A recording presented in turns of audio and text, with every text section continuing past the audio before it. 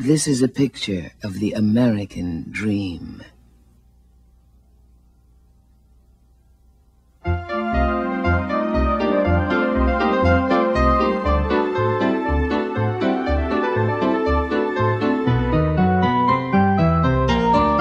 This is a picture of what the dream once was. This is a picture of what the dream has become. The center of primetime television has been the selling of the dream, and at the heart of the dream, the mythic American family.